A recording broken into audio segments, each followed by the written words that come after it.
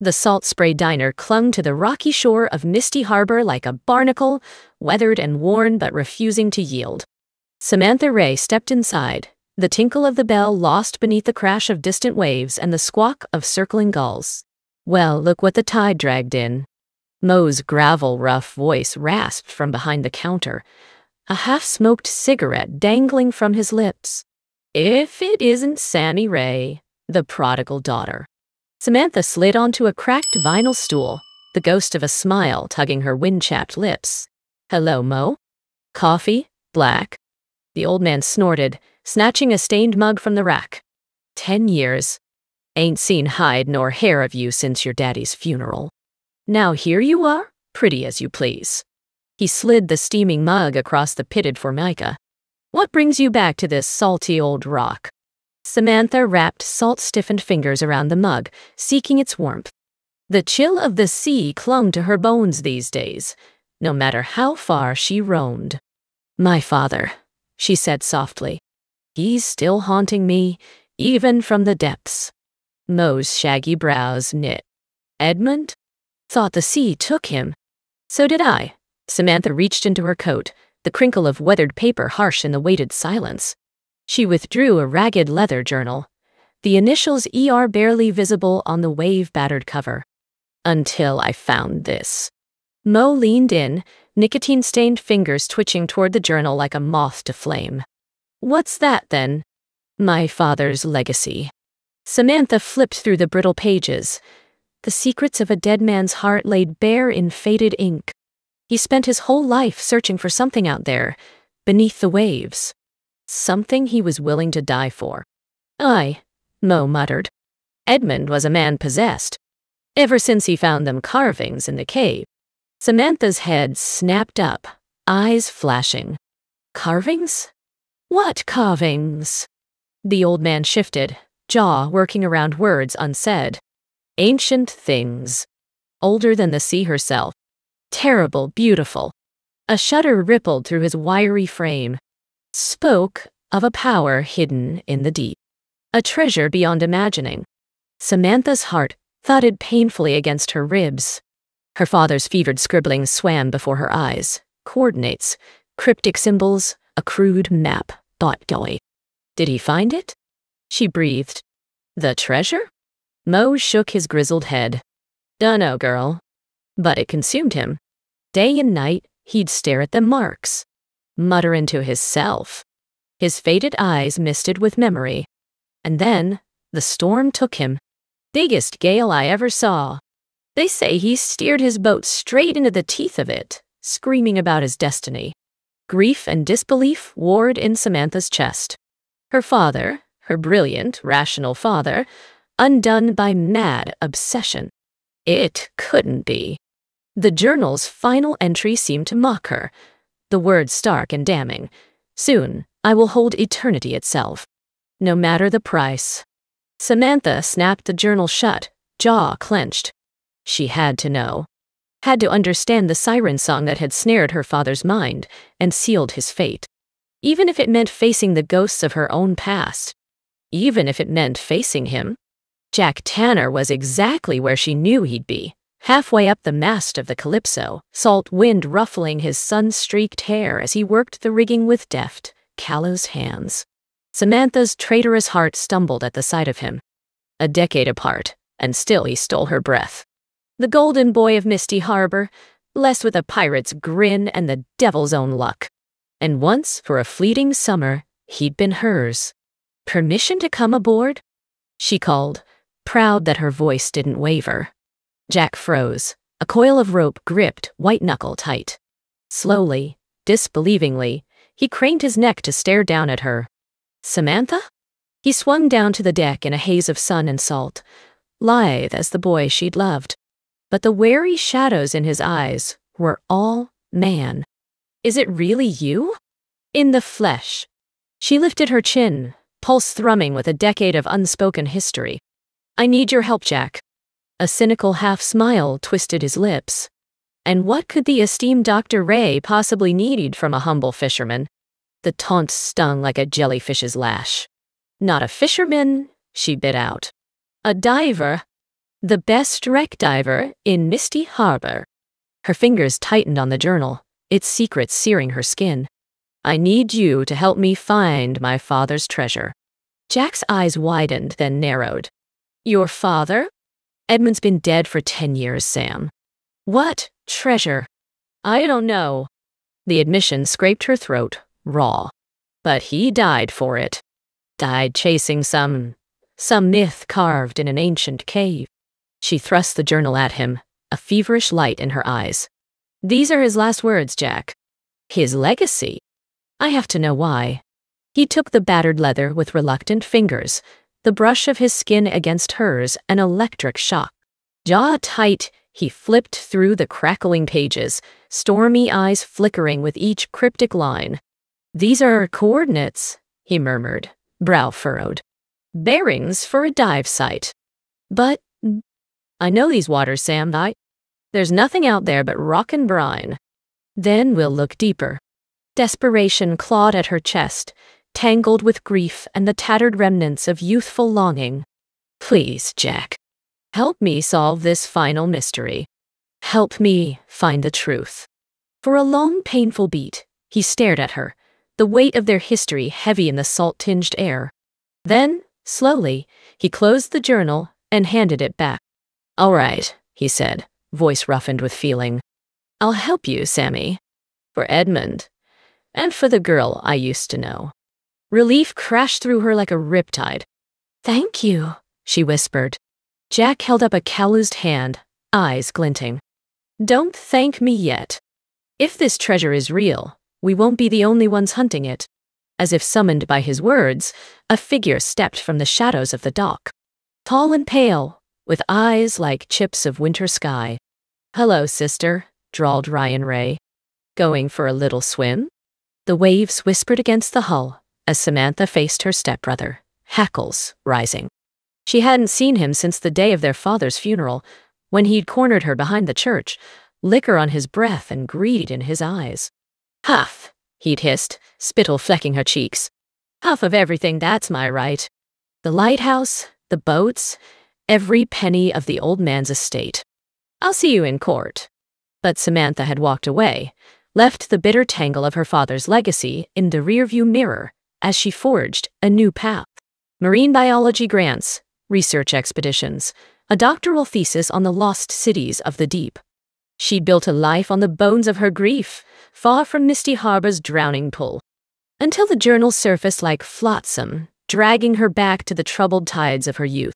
Ryan dot dot. She kept her voice level, a decade of practice concealing the old hurt. What brings you to the docks? Her stepbrother smiled, sharp as a hidden shoal. Oh, just tying up loose ends. The family business, you know. His narrowed gaze cut to Jack, blue as a gas flame. Dangerous waters out there. Easy to get lost. Jack shifted subtly, angling his body between Samantha and her stepbrother. Didn't take you for the caring type, Ryan. Worried about your sister's safety, are you? The larger man's smile didn't reach his eyes. We Rays have to look out for each other, especially with such tempting prizes at stake. Samantha's breath snagged. He knew. Donalani. Somehow, Ryan knew about their father's treasure. Cold fear unfurled in her gut. Her stepbrother had always been a boy of vicious appetites, for power, for wealth, for the sick thrill of others' pain. What depths would he plumb to slake his ugly thirst? This has nothing to do with you, she snapped. Go back to your whiskey and your whores. Ryan's eyes flashed, a vein pulsing in his temple. Still so high and mighty, aren't you, sis? The golden girl. He took a menacing step forward, the dock creaking underfoot. But I know what you're planning. What you hope to find. A sneer twisted his patrician features. Did you really think you could cut me out? Me, a rightful heir? There is no heir, Samantha shot back, heart pounding. The treasure's a myth, Ryan. It died with Dad. Liar. Ryan lunged for her, meaty hands clawing. Jack moved to block him, muscles bunching bile. A crack split the air, sharp as thunder. Ryan howled and staggered back, clutching his bleeding hand. The next one won't be a warning. Sheriff Tess McKay stepped out from behind a piling, a still smoking pistol trained on Ryan's chest. Steel glinted in her storm gray eyes. This is my harbor, she growled. I won't have any blood spilled here but the fish and the gulls. Is that clear? Ryan snarled through gritted teeth, blood welling between his fingers. For a taut moment, murder flashed across his face. Then, with a final venomous glare, he slunk into the shadows. This isn't over, he spat. You can't keep the Ray legacy from me forever. Shaken, Samantha turned to Tess, a shuddering breath escaping her lungs. Thank you, Sheriff. The older woman holstered her pistol, mouth pressed thin. Don't thank me yet. Your brother's a dog with a bone. He won't stop till he gets what he's after. She eyed Samantha keenly. And something tells me there's more to this treasure hunt than meets the eye. Jack put a steadying hand on Samantha's shoulder, warm through her cardigan. Tess is right. Ryan's dangerous. Maybe, maybe we should rethink this dive. Samantha whirled on him, eyes blazing. No, we can't let him win. This is my legacy, my birthright. I have to see it through. In the maelstrom of her emotions, her gaze snagged on Jack, the furrow between his brows, the concern in his robin's egg eyes. Despite the years and the hurt, he still had the power to settle her, anchor her like a safe harbor. Slowly, she covered his hand with her own, desperate for his steadiness. I need this, Jack, she whispered. Need to know what demons drove my father to his death. I can't move forward until I face the past. For a long waited beat, Jack searched her face, and in the space between heartbeats, the old connection flared. Bright, dight, bittersweet, dot. He exhaled, strong fingers tightening on her shoulder. Okay, he murmured. Okay, Sammy. We'll see this through. Just be careful. I couldn't stand to lose you twice. Emotion thickened Samantha's throat. Once, she'd walked away from this man, this town, too young and headstrong to face the wreckage of her father's shadow. Now, with darkness circling and time running out, she had to cling to the light. Cling to him. You won't lose me, she vowed, soft but fierce. We started this story together. It's time we finished it. And as the autumn wind keened through the harbor, the lighthouse beam cutting the gathering dusk, Samantha Ray steeled herself to face the deep. No matter how dark the waters, no matter what waited in the depths. The sea was a black mirror, cold and impenetrable. Samantha stared into its glassy eye as the calypso cut through the swells, salt spray stinging her wind-chapped cheeks. Somewhere below those fathomless depths lay her father's final obsession, a treasure of gold or glory birthed in blood and madness. With each nautical mile, Samantha felt the weight of her ancestors' secrets pressing down like the crush of the abyss. We're coming up on the coordinates. Jack's voice was a low rumble beside her, his eyes fixed on the instruments. In the wan light of the wheelhouse, the angles of his face were stark, sculpted by time and tide. You sure about this, Sammy? Samantha's fingers tightened on the rail, the ache of old scars throbbing beneath her skin. I have to be. The truth is down there, Jack. I can feel it. He glanced at her, something ancient and aching in his gaze. The truth can be an ugly thing. It can cut to the bone. Then I'll bleed. The words rasped out of her, raw and defiant. I've bled for this town, this family, all my life. What's a little more? Jack was silent for a long moment, the growl of the engines filling the space between them. Then quietly, You never did know when to quit, did you? Not even when the world was falling down around you. Samantha's throat closed. He was looking at her the way he used to, when they were just a boy and a girl drunk on summer and each other. Before the storm took her father. Before the shadow took her love. Jack, she whispered, the old longing a twist beneath her ribs. I, anyway, named. The depth finder screamed. They wrenched apart, Jack lunging for the instrument panel. What the hell? Samantha squinted at the readout, adrenaline spiking. It's an anomaly. A void in the sea floor, right beneath us. Jack toggled the sensors, brow furrowed. That's impossible. I've dived this reef a hundred times. It's solid granite. Not anymore. Samantha's heart rabbited against her sternum as she traced the impossible shape on the screen. A perfect blackness, fathoms deep and wide as a cathedral. He was right. It's here. Jack cut her a sharp look. We don't know what's down there, Sam. And with Ryan gunning for the treasure, I don't care. Her voice shook with a decade of unspent grief, of unanswered questions. This is what I came for. What I lost everything for. I'm diving. For a beat, Jack looked like he might argue. Then his shoulders slumped, the fight draining out of him. Stubborn as a barnacle, he muttered. Fine, dight. But I'm going with you. Relief and trepidation warred in Samantha's chest as they kitted up, muscles moving on autopilot. The weight of the tanks, the constrictive embrace of the wetsuit, the cold kiss of the regulator, it was like stepping into someone else's skin. Dr. Samantha Ray, scourge of the scientific symposium, falling away. Sammy the lighthouse keeper's daughter taking her place, wild and reckless as the wave.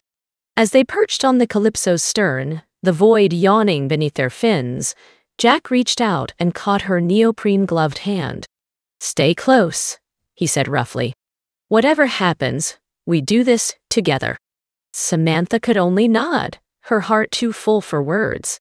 Then, with a final breathless look, they rolled into the abyss. The cold was a living thing, pressing in from all sides as they sank into the blue-black nothingness. Samantha's headlamp carved a thin shaft through the gloom, the beams swallowed by ancient, endless dark. Down and down they swam, the void widening with every meter. Pressure squeezed Samantha's chest, the weight of generations bearing down. Her father's last dive. What had he seen in this lightless place? What had driven him into the jaws of the hungry sea? A flicker in the murk. Samantha froze, limbs going stiff. There, caught in the spill of her lamp, a glint of gold. Impossible. She kicked forward, pulse thundering in her ears. Jack's warning tap on her shoulder barely registered as she closed the distance, the golden glimmer growing brighter with each stroke. And then she saw it. Rising from the seafloor like a mirage, ancient and alien and achingly beautiful, a statue of a woman cast in pure gold. Her features were strange, ethereal, caught somewhere between human and fae.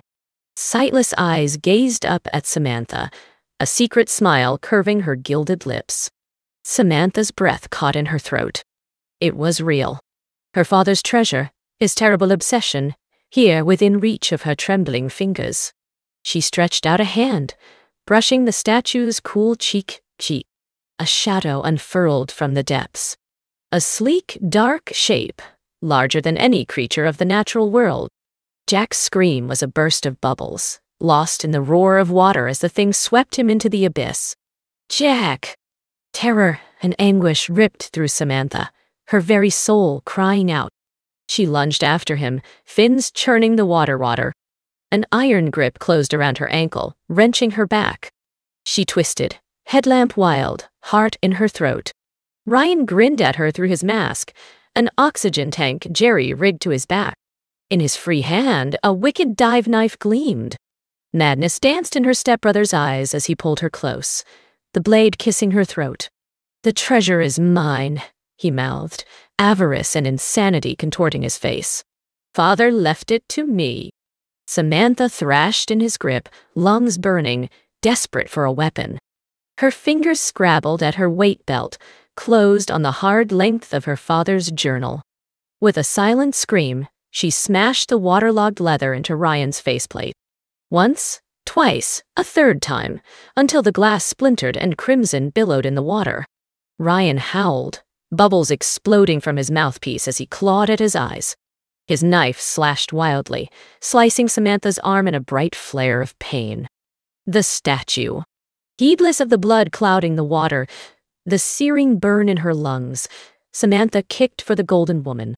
Her outstretched arms were a prayer, an apology, a reckoning generations in the making. Daddy, she keened through gritted teeth. I understand now. Her hands closed around the statue, and the sea itself screamed. Light exploded through the void, searing, blinding. The shadow thing writhed, a piercing wail echoing in the marrow of Samantha's bones. And the statue shifted, changed. Gold flanging into scale and tooth and talon. The mermaid opened impossibly blue eyes and smiled. Daughter of land and sea, she sang, the words thrumming through the water like siren song. You have broken the curse, freed us with your blood and your sacrifice. Tears burned Samantha's eyes, understanding crashing over her like a riptide. Her father, his death, the secret that had haunted her all her life. It led here, to this moment, this truth. Jack, she gasped out, salt and copper on her tongue. Please. The mermaid inclined her head, a queen granting a boon. She raised a hand. And Jack was there, coughing and sputtering, whole and hale in the circle of her supernatural light. His eyes found Samantha's through their masks, wide with awe and disbelieving joy. What now? he mouthed. Samantha could only shake her head, a strange, giddy peace settling over her. The old wounds, the ancient ache in her soul, they were gone washed clean by the tide of fate. We go home, she said simply. We live. And as the mermaid released them, as they ascended hand in hand through water turned warm and welcoming, Samantha knew her father's legacy had never been gold or glory or the secrets of the deep. It had always only been love. The Calypso limped into Misty Harbor as dawn broke over the waves, battered but unbowed. On the deck, Wrapped in blankets and each other, Samantha and Jack watched the sun paint the sea in shades of hope and renewal. He wanted to set them free, Samantha murmured, her voice scratchy with salt water and revelation. The merfolk. That's what the carvings in the cave were. A map to their prison. Jack pressed a kiss to her wind-tangled hair, the simple touch an anchor in the whirlwind. And you did it, Sammy. You set them free, Set yourself free. Tears tracked down her cheeks, bright and clean. Not just me, she whispered. Leaning up, she caught his lips with her own, the kiss tasting of brine and benediction. I couldn't have done it without you, Jack. Any of it. He smiled against her mouth, calloused palm, cupping her jaw. Partners, he said, rough and real. In all things. Forever. Forever? The word settled into Samantha's bones, into the cracks and scars left behind by a lifetime of ghosts. She felt it take root, grow, blossom into a promise. A future. Here, in this place she'd tried so hard to escape. With this man she'd never stopped loving. And as the Calypso glided into port, as Misty Harbor stirred to life in the buttery light, Samantha Ray, lighthouse keeper's daughter, marine biologist, woman reborn. She finally, finally came home. The end.